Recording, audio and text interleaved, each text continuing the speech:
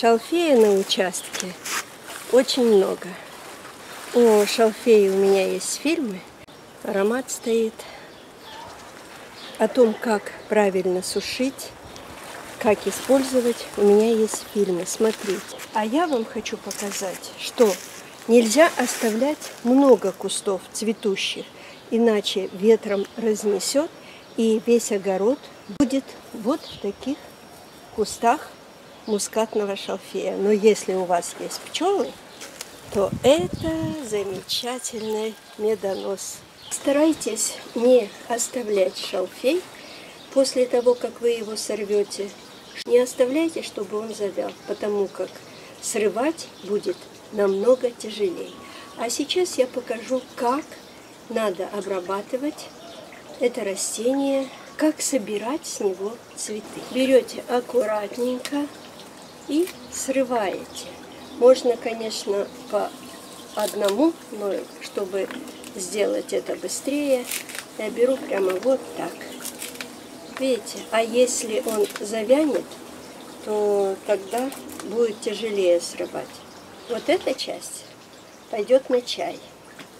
А листья и вот этот четырехгранный стволик, очень, конечно, интересный ствол, пойдет для зеленых удобрений.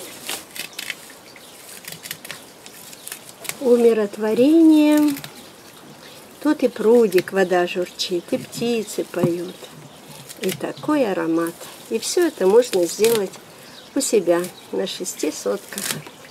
Неважно, дачный это домик или дом на земле, но удовольствие можно себе сделать самим. И никуда не надо ехать. Смотрю, притаилась у меня тут и божья коровка. Видимо, ей понравилось у меня. Ну, еще немножко и, наверное, улетит. Теперь останется только этот шалфей высушить.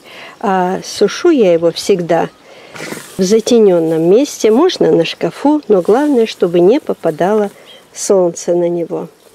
И у меня уже есть сухой шалфей. Сейчас я вам покажу, как он выглядит. Смотрите, это только что собранный, а вот он сухой шалфей. Видите, и цвет у него сохранился нежно-фиолетовый, и аромат замечательный.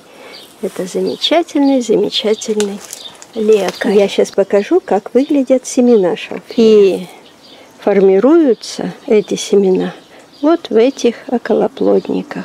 Видите? Поэтому оставлять на участке большое количество цветущих растений нет смысла. Иначе, посмотрите, сколько семян на каждой веточке. И весь огород, в конце концов, у вас будет в мускатном шалфее. Хотя это тоже неплохо. И замечательное зеленое удобрение, и замечательный компост – и замечательный лекарь. С вами была Екатерина Снитко и наш чудесный сад.